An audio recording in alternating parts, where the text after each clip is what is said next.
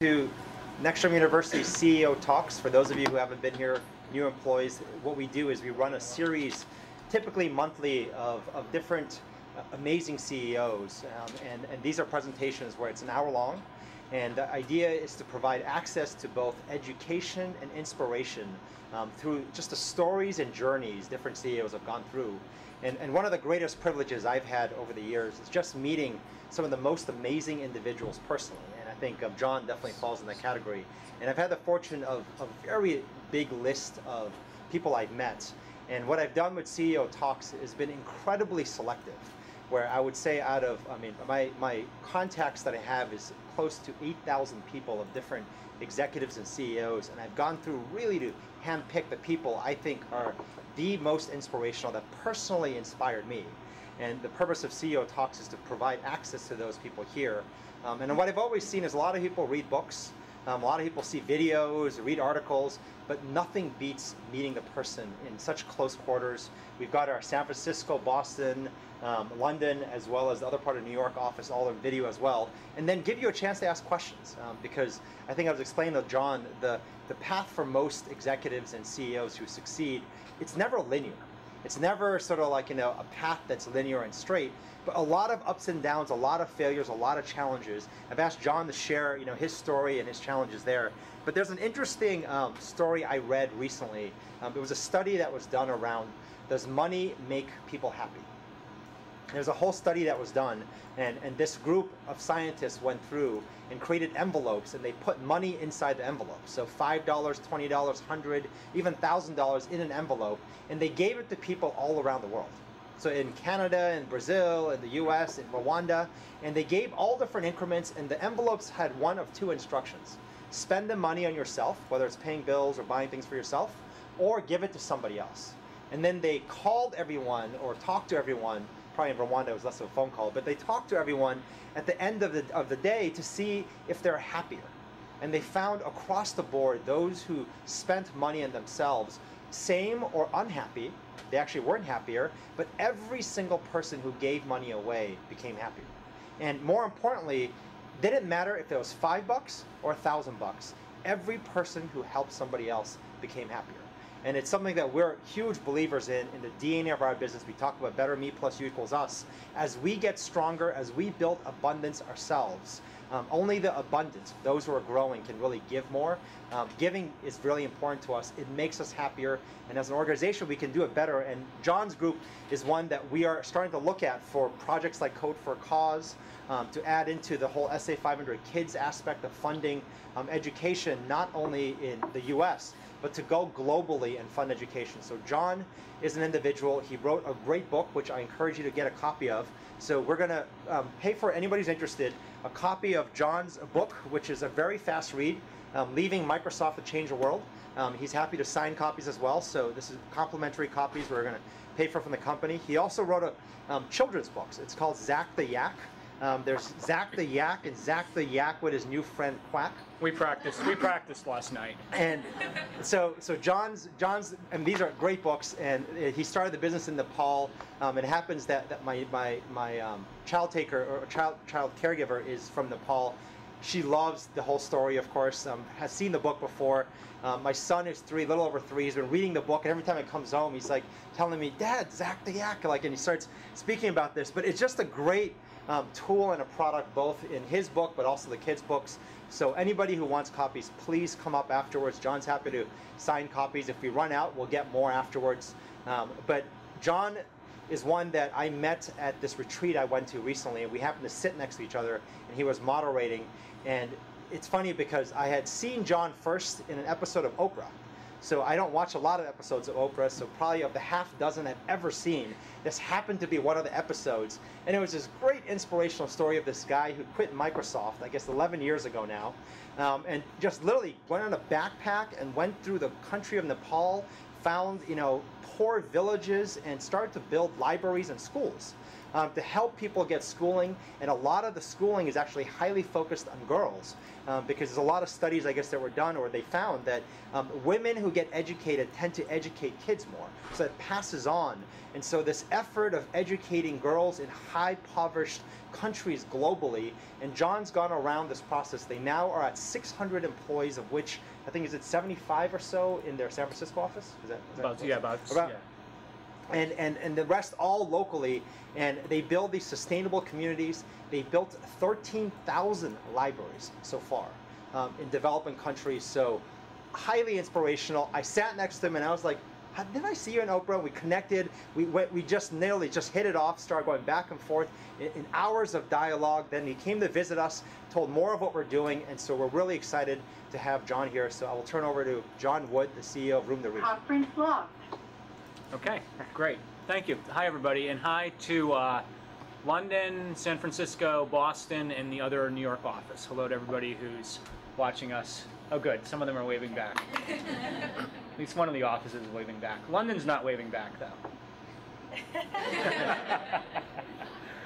Um, well, great. Well, it's really great to be here, and it's great to have a chance to tell all of you about my passion, uh, which is bringing education to the poorest of the poor.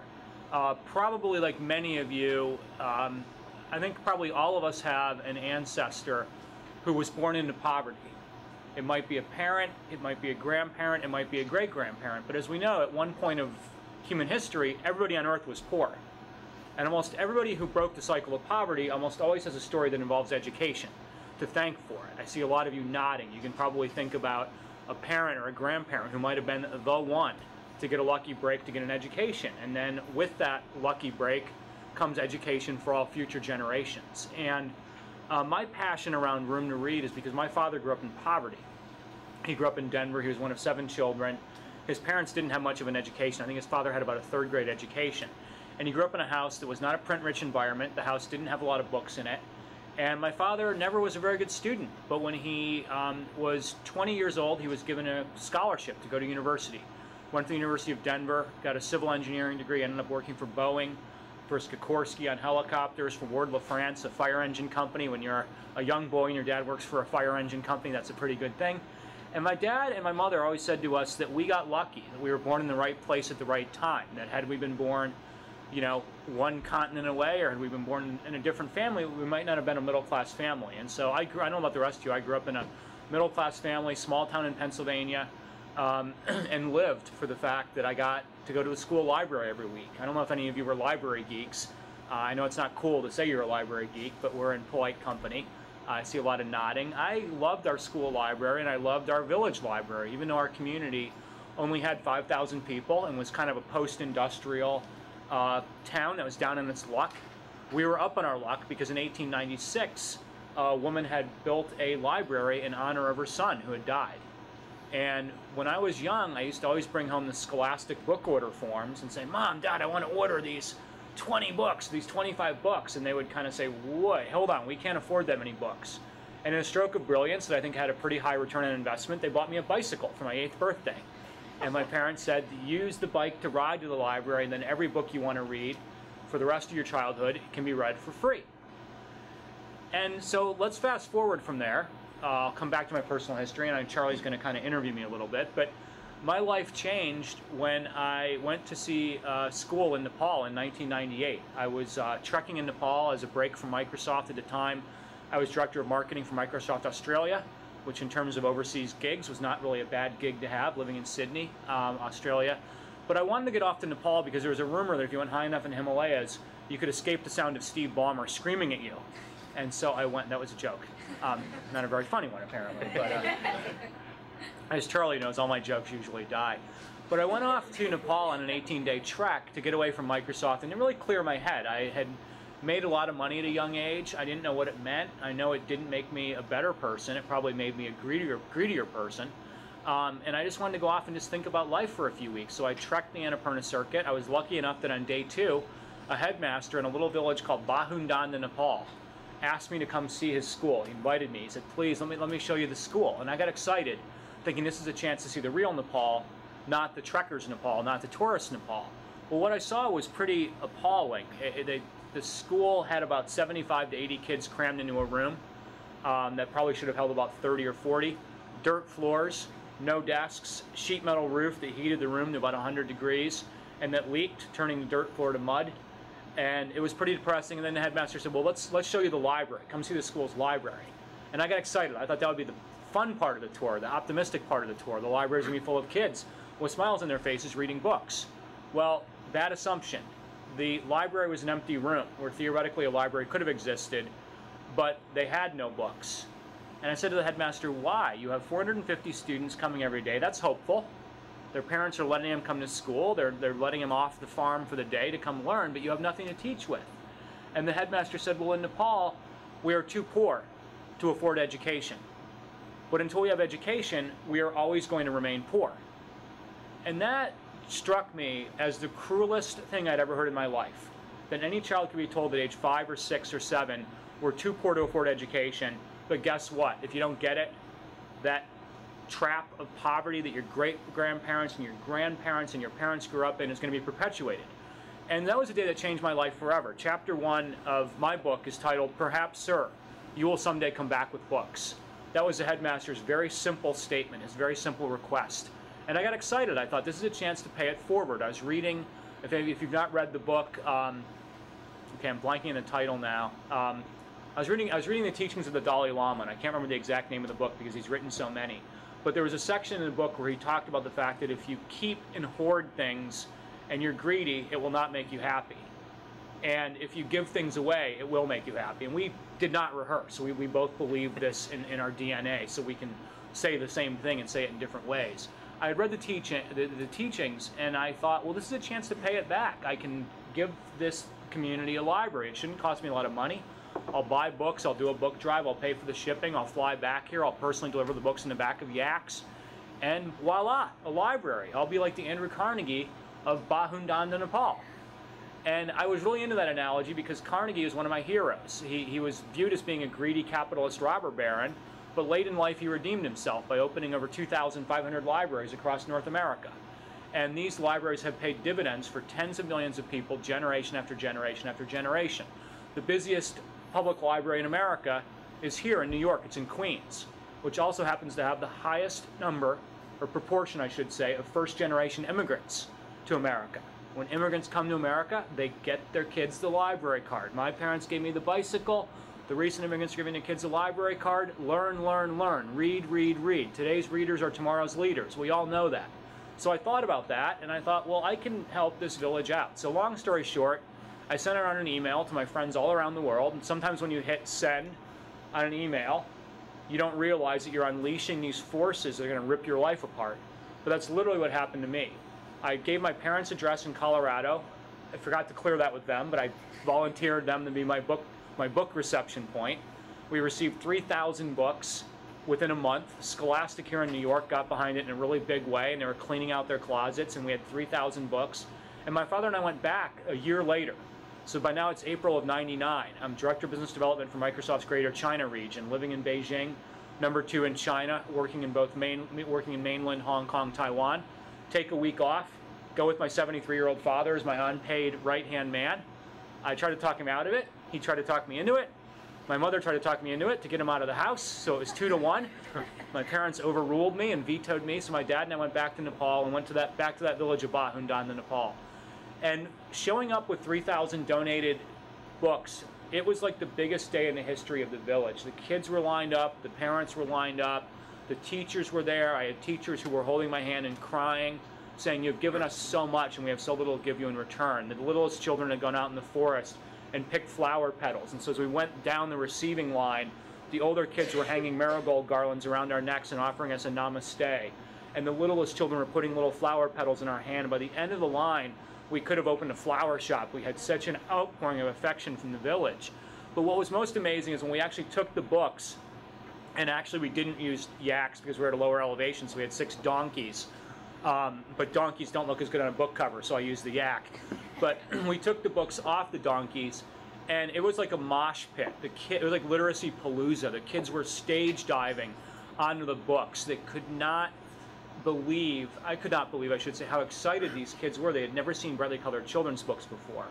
And inherent in that moment was the beginning seeds of my exit from Microsoft. It was kind of my game over moment. I sat with my dad that night having a beer, talking about how cool this was, and I said, Dad, this is a drop in the ocean compared to what's needed. I've traveled in Vietnam. I've traveled in post-apartheid South Africa. I've traveled in post-Khmer Rouge Cambodia. This is needed in so many parts of the world where kids are basically cursed by the fate. At a young age, they were born in the wrong place at the wrong time. They don't have books, they don't have teachers, they don't have education. So long story shorter, I quit Microsoft in late 99, the height of the tech boom. Quitting Microsoft in 99 was probably a bit like quitting Facebook today. People didn't really believe me. They thought I was crazy. I'll talk a little bit about that. Um, but I quit to start Room to Read because I didn't want to do this library thing in a small manner. I wanted to do it in a huge way that would ultimately impact tens of thousands of kids, hundreds of thousands of kids. Maybe one day if I could use my entrepreneurial skills and my business building skills, maybe I could even impact millions of kids. So that's how Room to Read was born. Um, to be clear, when I started it, I did not have a gazillion dollars. I could not afford to bankroll this thing myself. I could afford to take a risk and work for free for a couple of years and work without a paycheck and live off my savings. But I had to start raising money from day one because I think the easiest way in the world to be a philanthropist is to get a billion dollars, announce to the world you have a foundation, hang your sign outside the door, and there will be a queue from day one of people saying, wow, you've got a foundation, cool, I need money, I need money, I need money. When you hang a sign outside your door saying, I'm a startup charity with no budget and no background in education and no employees and not really much of a business plan, uh, nobody's lining up outside your door. So that was how I started. Literally, it was myself, my friend Dinesh in Nepal, who I'd met, who was my volunteer in Nepal, my father and mother. I left Microsoft and said, I got to start this. In January of 2000, just over 11 years ago, we opened our doors. And that's how we got started. So I'm going to stop mm-hmm. rambling and let Charlie drive here. So, so I, I know what's been helpful for us is I probably the, the, the first part of the story was awesome, but now what happens after that? Because I think you know, the whole process of the struggling, starting. I think Shimi is here with us as well from Angel Wish, where, where you know he, he, he he's one. You know, similarly, like it's not today 600 employees, 13,000 schools. It just sounds like wow. It must have been just a straight upward climb. I would love Mm. to hear some of the, the, the, the ups and downs, the, the, Yeah. the wins, but as much importantly, some of the things that, that weren't so easy, I guess, some of the challenges. Why don't, I t- why don't I tell everybody where we are today? And then what we can do is we can work backwards from there. So let's fast forward to today. Where are we? As Charlie mentioned, about 600 employees. We are working now in 10 countries. Our goal is really to serve the poorest of the poor. So we're trying to work in countries that are probably in the world's bottom 50 of GDP per capita. We're trying to work in countries where there's also enough social stability and political stability you can actually get things done. Um, so we're not working in, let's say, Afghanistan or the South Sudan. My heart goes out to kids there. But if you don't have conditions of stability, it's hard to get parents thinking long term about their kids' education. So we're working in sub Saharan Africa, we're in South Africa, we're in Zambia, we're launching this year in Tanzania as our third African country. Uh, we were born in South Asia. Uh, today we're in Nepal. We're in India, our biggest country with the biggest need. 37% of the world's illiterate people live in one country. They live in India. And that number is going up, not down. So those of us who love India got to really get on that and help those kids. We're in Sri Lanka, we're in Bangladesh, and then in Southeast Asia, we're in Laos, one of the poorest countries in Asia, Cambodia, uh, which post Khmer Rouge is not going to have much of a chance of rebuilding a social, uh, stable society without education, and then in Vietnam. Um, our budget this year is $45 million. I'm really psyched about that, right? We started the first year, our budget was $35,000, and we managed to grow very, very quickly as a result of having these fundraising chapters all around the world. Today we have 57 cities, including here in New York, and including Westchester, and including Greenwich, and including Central New Jersey, where we have people who volunteer their time for Room to Read as fundraisers. They basically will do everything from do marathons to Room to Read to beer blasts. They'll do raise the roof parties where in one night they'll raise enough money to fund a school. They'll get their companies involved. And we have over 10,000 people now in cities ranging from Austin to Boston. And I will point out that Boston, San Francisco, and London all have Room to Read fundraising chapters. So I hope that we can get um, everybody else from Next Jump involved. And they are really uh, helping us to say yes to more villages. We do three things, sorry, we do four things and we try to do them at high quality and, with, and at scale. We build schools, we open libraries, we print local language children's literature, So kids will have books in their mother tongue, and I'll talk more about that in a second. And we uh, provide long-term scholarships for girls who are often left out of the system. Uh, to be clear, we're not anti-boy. As a former boy myself, I'd never want to be accused of being anti-boy. When we open schools and libraries and print books, they're gender neutral. They're available, of course, to both boys and girls. But throughout the developing world, quite often it's the girls and women who are left behind. So our girls' education program is designed to get more girls into the system, mentor them, coach them, give them homework help, and make sure they're staying in school and finishing um, secondary school. So Room to Read today, by the numbers, we've opened 1,600 schools. We've opened 13,000 libraries. We've put over 11 million books into the hands of kids, over 70% of which are mother tongue books that we're self-publishing. So we've become not only the doc, not only the Andrew Carnegie of the developing world, we've become the Dr. Seuss of the developing world because we've become a really, really big publisher of children's literature. Uh, 11 million books, 6 million kids now have access to our schools and libraries. And our girls' education program, we have 13,500 girls who are supported each and every day, guaranteed to the end of secondary school through our girls' education program. So that's where we are um, today. So, back to your question of kind of the beginning years. I mean, I would say the toughest challenge for us was that 2000 was a terrible time to launch a charity. Right? If people remember their history, many of you were probably too young there to care much about the tech bubble, but the tech bubble burst in 2000. Stock markets went down by 50%. My own personal savings, which were heavily invested in tech, went down by more than 50%. And then September 11th happened. And America became this place that was quite a bit more quite a bit more xenophobic and quite a bit less ready, willing, or able to engage with the rest of the world. And here I was going around the world with, you know, my hat in my hand saying, will you give, will you give, will you give, will you give? That was a terrible time to launch a charity. So I think that one of the lessons I learned was you have to basically be unabashedly enthusiastic about making the ask. You know, Derek Jeter in a good year might hit 333. For fundraising in a good year, you might hit 300. But you have to have the at-bats, because if you don't have the at-bats, you're not going to get the money. So I've learned from the very, very early days that I had to be out fundraising all the time, I had to not be ashamed to ask for the order because I was not asking for money for myself. I was asking for money that I could then be a pass-through vehicle so that a school got built or a girl got to go to school or a book got to get printed. Um, I learned really to accept accept rejection and not let it get me down. If anybody here is in sales, you know that's a really tough thing. You can get really dejected if you are being rejected. But the minute you stop making the sales calls, you're in trouble. And the minute you psych yourself out, you're in trouble. So I basically went at it, and, literally I went in to see Don Valentine, the, the founder of Sequoia Capital, Marc Andreessen, Bill Draper, the godfather of VC from 30 years ago at Sutter Hill Ventures, um, Jeff Skoll, the founding president of eBay. And I'm proud to say that with those four, I was four for four.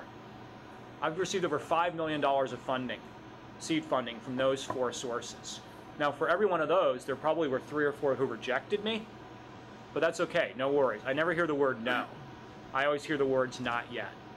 If you say no to me, I'm looking at you thinking, yeah, you're saying no now, Charlie, but at some point you're going to change that to a yes.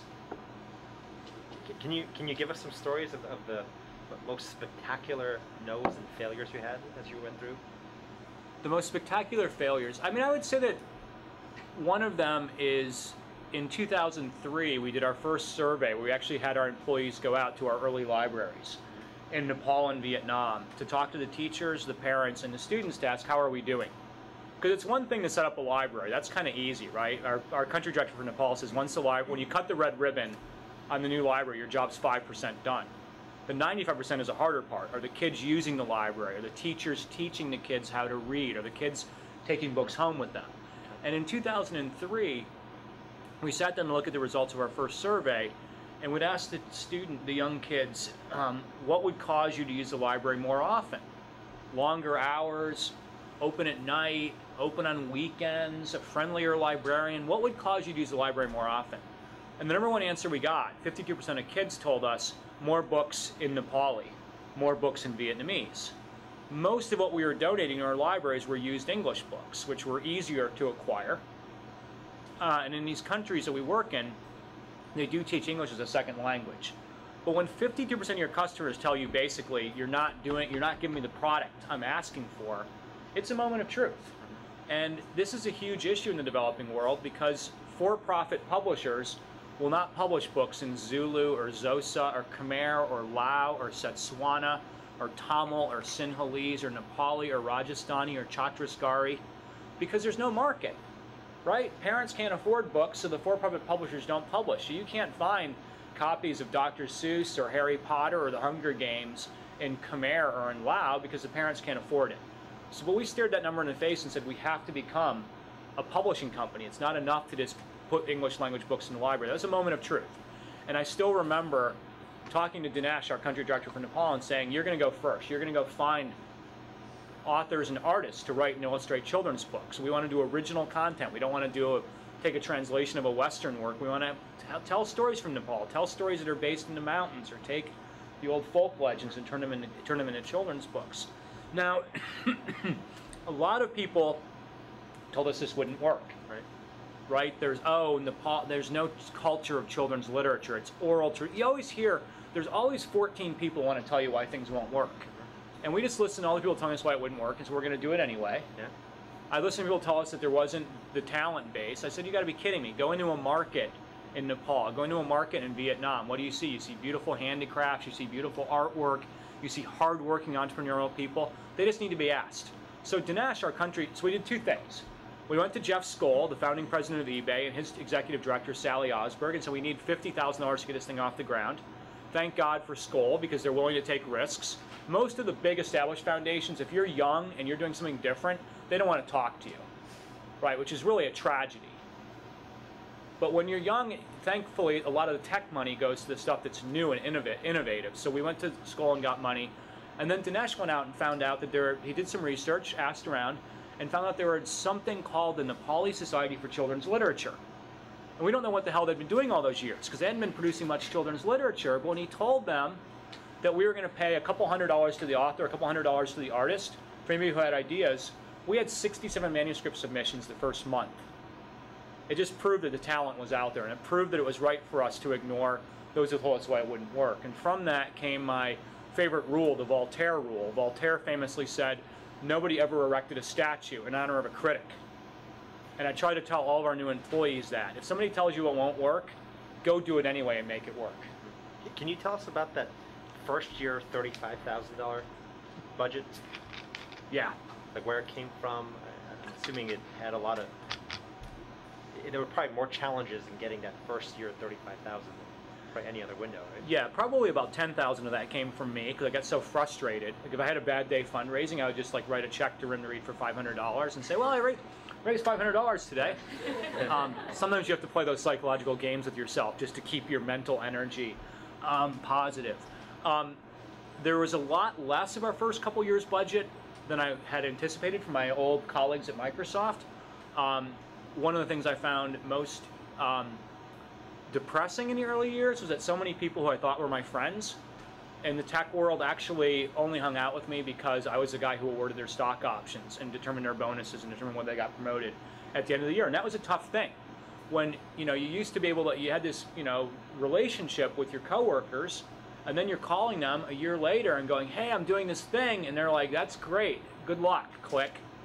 You know, and I'll never forget running into a guy who used to work for me in the Singapore airport, and he was going on the up escalator, I was going on a down escalator. We see each other, hey, hey, hey, go running up, talk to each other, and I go, what's going on? How's your career going? He proceeded to tell me for five minutes about how great his career was going, this advance, this promotion, this I'm running this, I'm running that.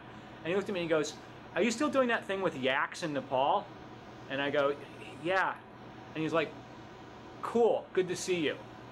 And he walked away. And that was pretty shocking. That was kind of depressing. But what was, I think, for the first couple of years, what was electrifying for me was that 95% of the money that came in was from people I had not known prior to starting Room to Read. A lot of cold calling, a lot of networking. I have something I call feet on. I have something I call feet on the street. It's that if you're sitting in your office, you're if you're on a charity and you're sitting in your office, nobody's showing up on your door and knocking to go, hey, I'm here. I brought a check to you. You got to be out there. You got to be on the airplane. You got to be making presentations. You got to be out speaking. And so for me, the first couple of years, it was basically kind of like I was traveling like this. I was Yeah. running the whole thing from a BlackBerry traveling and just trying to get everywhere in the world. And I had a Robin Hood strategy, right? Go everywhere in the world where there's money and say, I'm here to liberate you from your money so that a child in India can get an education or a girl in Cambodia can finish high school. And it's London, Amsterdam, Zurich, New York, Vancouver, Toronto, Hong Kong, Tokyo, Singapore, just perpetual motion, perpetual road trip for me. I've not stopped traveling for 11 years. So how much time did it take before it took off? I Because I'm sure in the beginning. Well, one of the tipping points for us, there's probably been three tipping points for us. Um, because now people say, you know, how are you at 45 million per annum when you were at 35,000? That is insane compound annual growth. I think there's been three tipping points for us. One was in 2002. Uh, Fast Company magazine wrote a four page profile that was titled John Wood Turns the Page. And it was beautiful. Christine Canabou, the journalist, spent several days with me in San Francisco, and it was this, this article was all about this really driven guy who was going to change the world and was just getting started. And was just you're going to hear about this guy, you're going to see him, and it was a beautiful story. And I remember I was in Nepal, and I came back after six days out in the middle of nowhere, and I hadn't checked my email in six days, and I went on to my email, and there were like 700 messages, and I thought, oh no, I, have got spam. Somebody got my address, and this is all good. I'm going to be clearing out spam for the next couple of hours.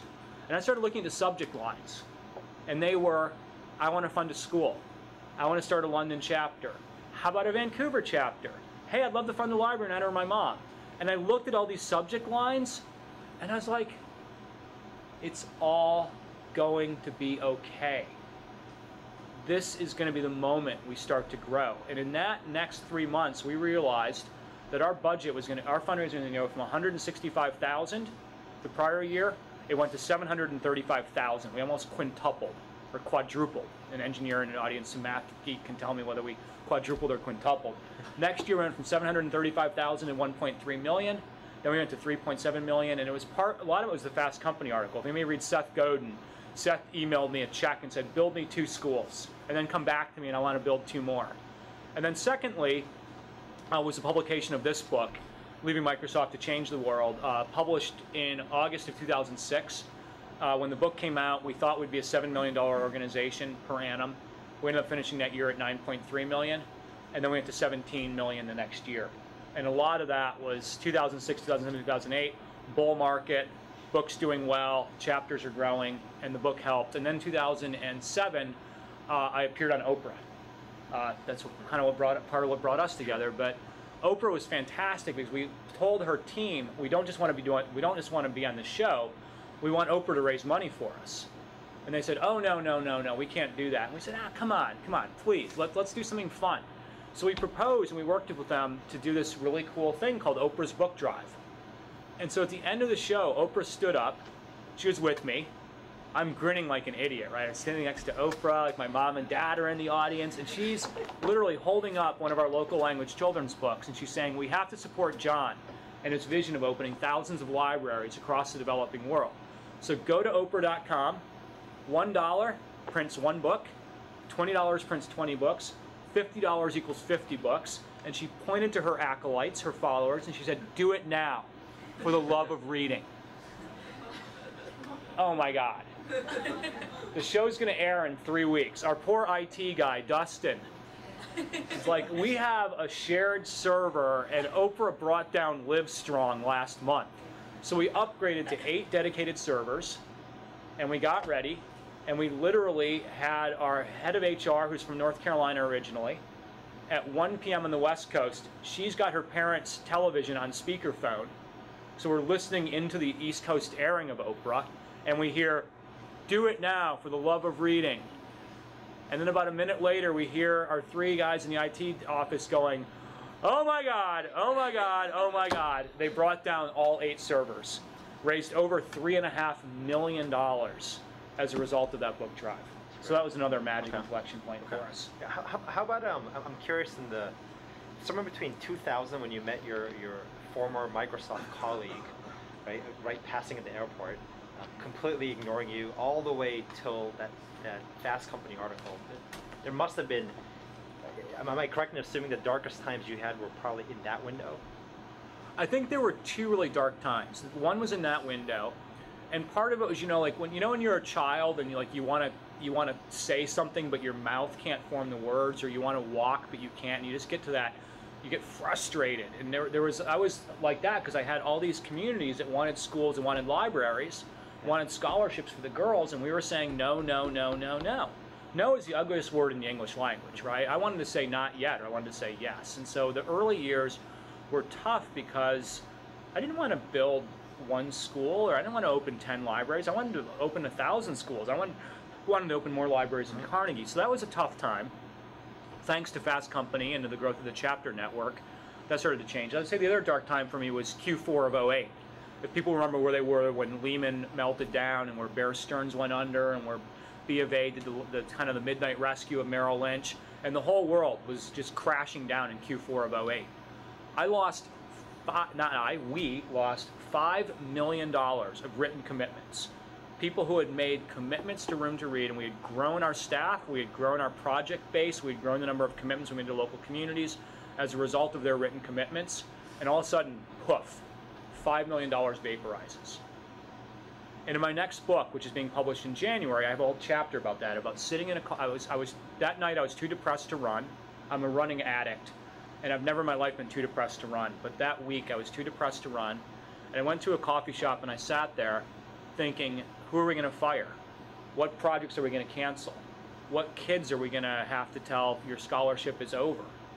And I sat in the coffee shop, and then I was writing in my journal, and I got to the point, and I, I got to the point of just being like, oh, you know, this is ridiculous. I just got to put the journal away.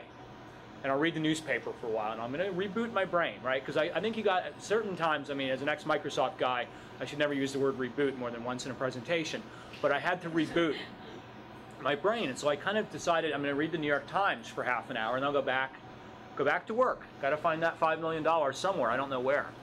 And I was reading the Times, and there was a story about girls in Pakistan who had been attacked with acid. Men on motorbikes had come by and thrown acid on these two little girls because they dared to go to school. And I read that article and I said to myself, what century are we living in? That girls who dare to go to school can have acid thrown on them.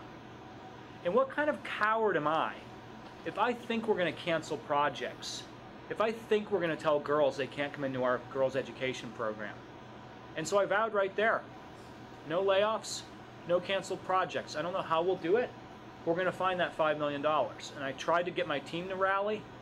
The fundraising team was heroic, the management team was heroic, the volunteer fundraising chapters around the world were heroic.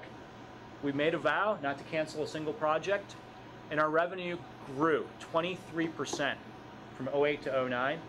Our revenue grew 20% from 09 to 010. Our revenue grew 26% last year. So we've actually doubled in size during the global financial crisis because we refused to accept the fact that even a global financial crisis was going to derail us from our mission of reaching as many kids as possible. Can you tell the group about you know the discussion we had with Mike from Atlassian and kind of what you guys did? I thought that was just such a cool thing that you guys did with the whole Australian company. Oh yeah, yeah. How many of you guys know about Atlassian? Anybody? Software company? Uh-oh. Okay, Atlassian.com. It's like Atlas, but it's Atlassian. A-T-L-A-S-S-I-A-N.com. Company based out of Sydney, founded by two co-founders, Mike and Scott, who literally dropped out of college, whacked some money on their credit cards, and said, let's start a software company. And they have an office now in San Francisco, an office in Amsterdam. Uh, they're backed by Accel. Partners, Accel put $60 million in in the last round. It was the largest round Accel ever did. They make software testing, coding, debugging tools stuff that's not very glamorous, but that works very, very well. And what they, what Atlassian did was two and a half years ago, Scott and Mike approached me. They'd seen me speak at a wine gala in Sydney and said, we want to do something different. We want to put our product out there and ask people to download it, download trial versions. We don't want to give it away for free because we think that free is not going to be valued. So what we want to do instead is charge $5 and have all $5 go to Room to Read. So people have to have skin in the game. They have to put a credit card down to download our product. We'll give the money to you. Five products, $5, five days. Five day offer. I said, okay. What do you think you're going to raise? They said, probably $25,000. Our goal is to have 5,000 downloads. Great. Let's do it. Let's try it. Why not? Sounds fun. They raised $25,000 the first day. The word went around. It went around the tweet sphere and Facebook. Everybody's talking about it. Oh my gosh, do this. You get great products. Room to get some money. They didn't stop. Their developers, their product support said, don't stop. Even if we have to take more phone calls, let's just keep this thing going. They raised $125,000 in five days. It's a lot of money. That's enough money to support the printing of 125,000 local language books. That's enough money to support um, 500 girls in our scholarship program. So it's, it's great. Well, then they came back and said, we're going to double down. 10 products, $10, all the money goes to Room to Read. Great. Within a year, they presented us with a large, oversized check for $1 million. They're now at $1.8 million raised. Last year, Barclays Capital was supposed to be our largest corporate funder with a $750,000 gift. They got pitched or peaked at the post by Atlassian, which came in with an $850,000 check at the end of the year. They've raised nearly $2 million for us, and they've done it $10 at a time. Well, every good idea deserves to get replicated, so I was talking to a guy in Sydney who works for a legal discovery software company called Nuix, N-U-I-X. I told him this story. Nuix decided they would go second. So they've now launched a $100 product. All 100 bucks goes to Room to Read. And they're now up to about $45,000 with a goal of raising a quarter million dollars for us. So there's something in this whole idea of getting a great piece of code, making it a code, piece of code that has a social cause, putting it up there saying the money goes to to Read. And we're hoping that 10 or 20 different companies are going to replicate this model and help to fund us. Because if they can kick off that much money, we can get a lot done. Any questions from the from the group here? The room next door. I know I know Boston as well as um, San Francisco and London. Anybody? Questions? Maybe I'll start with Boston. Any questions? You guys from John?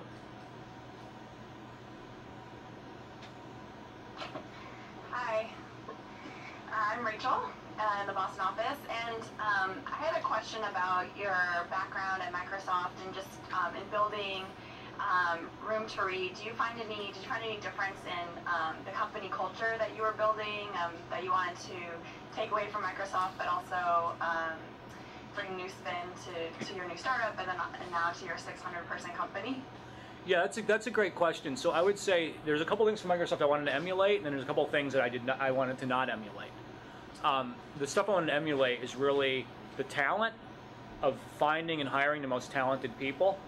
And there's a, I think sometimes people think that in the charity world, it's okay to hire non-talented people because it's charity. It's not as important as the for-profit sector. And I think exact opposite. I think what charities do, or what Angel Wish does, or what Room to Read does, or what Teach for America does, or what Donors Choose does, is every bit as important as the for-profit world. So we have to have our eye out for talent. So number one is, you know, Microsoft was always very good at recruiting talent. Number two is a culture of performance, of setting bold goals and not accepting anything other than peak performance. And we as a charity are quite good at getting rid of employees who don't perform.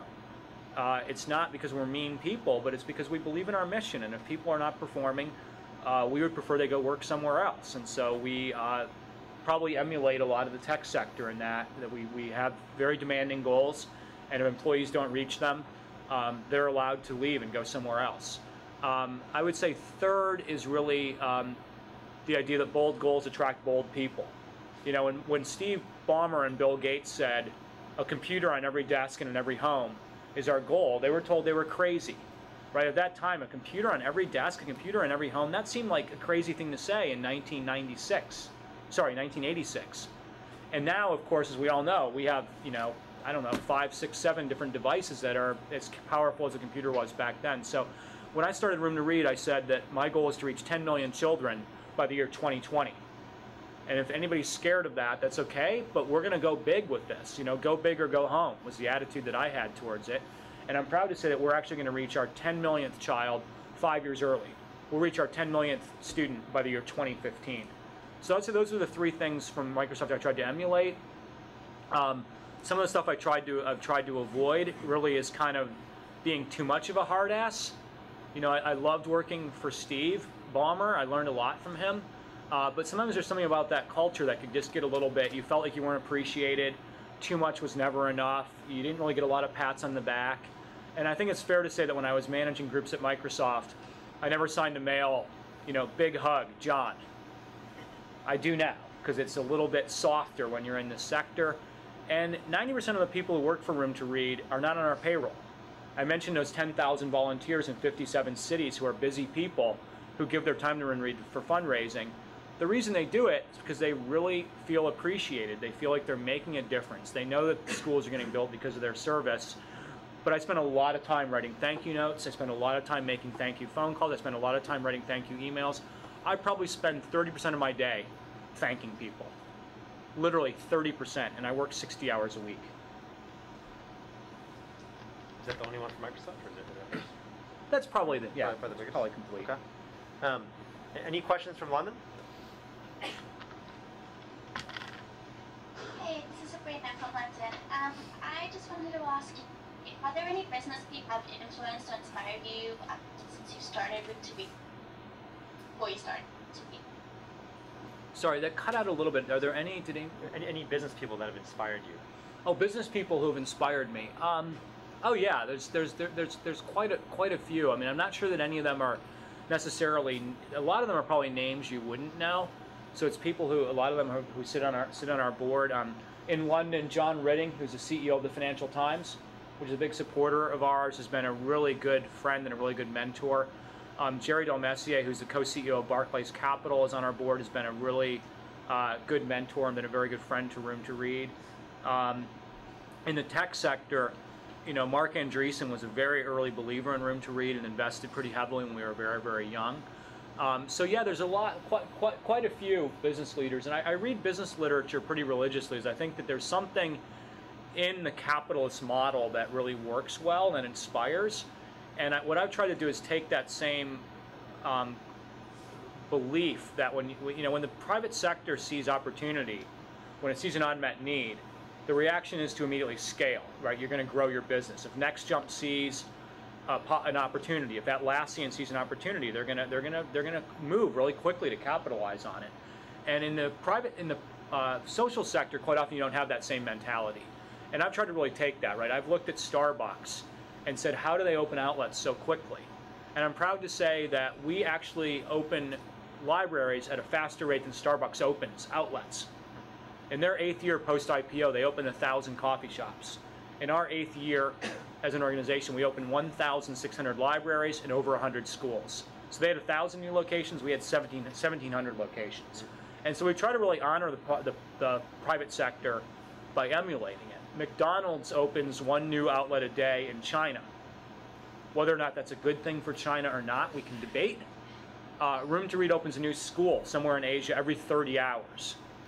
So McDonald's new outlet every 24 hours, Room to Read new school every 30 hours. I'd like to get that up to a higher number. And one day say McDonald's, we're, we've caught you. Then we're 23 hours, 22 hours, 21 hours, 20 hours. And in the same way we've out Starbucks Starbucks and out Carnegie Carnegie, I really want to out McDonald's McDonald's and start opening schools at a faster rate. Any question from San Francisco?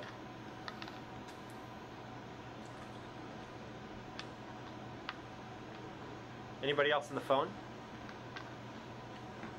Uh, this is Toby in London. Okay. From, from my understanding, the biggest challenges for non-profit organisations is an inconsistent income. What is it that you've done to try and manage this effectively, and what have you done to, to Yeah, that's a, that's a very good point. So one of the challenges when you're a nonprofit is you don't have as predictable of an income stream as you do if you're a for-profit venture, right? Starbucks knows when they open the doors in the morning, they're going to have a certain number of people coming in, and the average transaction size is going to be four dollars and they can guess and they can predict how many customers and how many locations making how much money. In the in the charity sector, you don't have that to the same extent. So we try to do a number of things to make our cash flows more predictable. Number one is asking investors for multi-year grants. Once somebody becomes an investor in Room to Read and they go through one or two years, we say, hey, how about making a three-year commitment or a five-year commitment so we can actually have more predictable cash flows? Number two is our fundraising chapter. So in London, for example, uh, we have a really active fundraising chapter that every year does a big wine gala with Jancis Robinson, who's the wine writer for the Financial Times. We get Berry Brothers Rudd, one of the biggest wine companies in London, to get behind it. And we, they commit to us every year. They're going to raise a million pounds on one night. Our Hong Kong chapter every year is going to produce $2 million for their annual gala. Our Tokyo chapter just last week had their first million dollar night. So we try to have these events all around the world where even if it's variable, maybe they raise half a million versus a million in a night, that's okay because we can then aggregate that up and predict with some degree of, of, uh, uh, of hopeful accuracy how much money is going to come in. So I would say in a given year, I would say probably I can predict about 60% of our cash flow. And then the rest of it is just basically being out, feet on the street, butt on the airplane, get out, travel around the world, and just make the ask as many times a day as possible. Any questions from here in the room? Okay.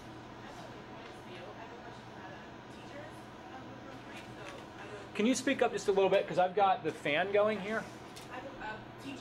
I have a question about teachers um, and how we can read um, helps uh, the teachers in these schools that you guys build. Um, when you started and you found that there was a shortage of, a shortage of books um, in the schools, did you also find that there was a shortage of teachers or very quality teachers or librarians even that you, you guys can you put librarians and teachers in? Yeah, that's that's a fantastic question. So just to repeat it for those who might not have heard it, the question was really about teachers and librarians, and it's one thing to build a library, but you have to have the adults who are there. And that's that's actually a very prescient uh, observation because when we started when I started Room to Read, I kind of just naively assumed that if you opened a library, kids would come in and start reading, and if they couldn't read, they would read to each other. And we really underinvested in the teachers and underinvested in the librarians, and it was a mistake um, that we made, and it's a mistake that we moved pretty rapidly to try to um, to try to fix. Um, I'm proud to say in the last two years, over 20,000 teachers, and I'll repeat that number, over 20,000 teachers have gone through training provided by Room to Read in some critical areas, including literacy. How do you teach a child to learn letters in Khmer? How do you teach a child to, de- to, de- to decode? How do you teach a child to actually form sentences? We do what's called habit of reading, which is how do you teach kids that reading is fun? Reading's not a punishment. Reading is fun. Reading's something that's great to do. And then librarian training. How do you set up a library? How do you make sure the library is well organized so that kids know that if they're reading at a first grade level, here's where I find these books. Or if I want books about animals or I want picture books, how do I find those? Getting library um, checkout systems in place so that the books actually go home with the kids has been a huge area of investment for us. And I'm proud to say that now 97% of our libraries have checkout systems in place. Last year, over 9 million books were checked out and have gone home with the kids, which is great because then the kids are quite often teaching their younger siblings to read or sometimes even teaching their mothers to read. I've had illiterate mothers in India who are learning to read because their daughters are bringing books home from a room to read library. So that teacher investment and the librarian investment has been a huge part of what we do. And I should say that when Room to Read funds a school or a library, we don't just go in and build it for the community and say, step aside, we're going to build this for you. It's really a three part agreement. The government, the Ministry of Education agrees with us to provide teachers and librarians and pay their ongoing salaries. The community donates land and donates sweat equity. So if we're building a school, the parents will come out and dig the foundation. They'll carry the building supplies from the roadside up, the, up to the mountain, um, mountain village. They'll mix the cement, they'll pound nails, they'll build the bookshelves. So everything we do, those 1,600 schools, those 13,000 libraries, are a three-part agreement. Room to Read brings our money in along with our expertise, but the government's there side by side, the community's there side by side. And that's going to make definitely assure sustainability of the program because the local people have skin in the game. They've sacrificed to get that school built. They've sacrificed to get that library open. And one of the things I think is really important to do right in philanthropy is to make sure that those who are going to be the recipients of what you're giving actually value it enough that they're going to have skin in the game. And quite often we get that wrong, right? You can look at the, you know, the EU, United States. They go off into the developing world and they dump hundreds of tons of surplus grain, and then they price out the local farmers. People do use T-shirt drives or shoe drives or whatever, and go into a rural village in Uganda and dump 20,000 used T-shirts out on the market. What does that do? Well, if you're a Ugandan entrepreneur who wants to produce and sell clothing, suddenly you can't because the market's been flooded with these used t-shirts or used shoes. And so I think these models have to really be thought through to not treat people in the developing world as passive aid recipients who are lazy or dumb because they're not. They're not lazy at all. They're not any less intelligent than any of us, the rest of us. We're all born with the same gray matter. So Room to Read really tries to honor those local communities by requiring that they have skin in the game and co-fund each project. And you had a question? Oh, yeah, I just had a comment, maybe a little question, but I was gonna just say that your parents must be so proud of you, given your history and kind of how you came up with this, and how important Yeah, actually, um, they, they are. My um, my parents uh, were at the opening of the 10,000th library in Nepal. My dad, at age 84, decided nothing was going to stop him from going to Nepal and being present at the opening of the 10,000th library. I'll never forget when I invited my parents to come along. My dad said, "Even if I have to cash in my retirement savings to buy a business class ticket, I'm going to do it so I can be there and I can arrive and be awake and ready to go." And so, um, my parents are actually going to Zambia with me this summer. Um, my parents have never stepped foot on the African continent, and my dad at age 86, my mom at age 81, they're so psyched to go to Zambia and meet uh, meet the kids and be able to see the work. So, you know, hopefully they will remain healthy and uh, be ready for an African adventure this July. Any other questions? Here. Or? Good. Um, I've seen some of these uh, initiatives for like uh, laptops and stuff for other countries. Do, uh, with these libraries, does technology play any part, or is um, just physical books still the best way to reach out? Yeah, it's a good question. Um, technology does not play a part yet. It may someday, um, but most of the places that we're working are off the grid for data. Often there's there's a lack of electricity, and in many cases the cost to deliver technology is five to ten times larger than the cost to deliver something simple and, and low tech like books and like libraries and things like that. So uh, if you look, for example, at the way we work, $5,000 is literally enough to open a library somewhere in Asia that serves 400 children. So it's literally $12 per child served. And sometimes people ask us, how have you opened so many libraries? Well, we keep the cost as low as possible by having a very low tech, low cost approach. Uh, our girls' education program is an example of this. This is going to shock anybody here, but it costs us $250 per girl per year to get a girl into this program and keep her into the program. And think about that for a second. A life is changed forever by the $12 that brings an, an incremental child access to a library, by the $250 that tells a girl in India or Sri Lanka or Bangladesh, we believe in you. And one of the reasons I'm an optimist is that if that's how low the price of change is, we can build a school for $35,000. So we now have we have grade school students who have built sister schools. We have university campus chapters who have built sister schools. The price of change is so low that that's what makes me an optimist. To say we've already reached 6 million children, we'll reach 10 million children by 2015. I want to reach 50 million kids in my lifetime. Right? I have a friend who's a Buddhist um, scholar, and I once asked him, "What's the secret in your mind? What's the secret to life?" And he said, "Oh, that's easy." He said, "Figure out what you want to say on your deathbed, and work backwards from there." And I'll leave you with that piece of advice. Figure out what you want to say on your deathbed, and work backwards from there. Because if you can do that and you can nail that, you're set for life. Well, John, I appreciate you coming in. And if you guys want copies of books from John or even Zach the Yak books, please, please come up. Otherwise, um, Can I make? Yeah, can I make my, my? Can I make the closing pitch? yes. So, just for those of you who are remote, um, we do have a Boston chapter, San Francisco chapter, London chapter. If you're interested in getting involved, you can go to roomtoread.org and you'll find information on that. Or if you just want to email me, I can connect you up. I'm john at roomtoread.org. I'm wood at roomtoread.org. And I'm john.wood at roomtoread.org. when you run a charity, you can't be elusive and hard to find, but we'd love to get people involved. I know you have code for the code for a cause and we've got a lot of stuff we want to work on, including a, a, an upgrade or an update of the uh, Yak Pack website for our Zach the Yak uh, books. We need help with that. And here in New York, we do have our New York chapter has our annual spring gala on, Mar- on May 17th, and we'd love to get you guys involved and have some of you come out for it. I can promise you our, our, our events are really fun. There's not a lot of blah, blah, blah, blah, blah. It's just people mixing, mingling, having a drink, coming out, and supporting the cause. And it's a really fun group of people involved with Room to Read. So if people are free on May 17th, uh, there's information up on the website, and we even have a bulk uh, purchase deal. So if you want to come as a group, you can actually get a, a, a group discount. Right. And, and also, just to so, so Rachel in Boston asked the first question, is spearheading our Code for a Cause initiative, and um, just to give give you guys some context.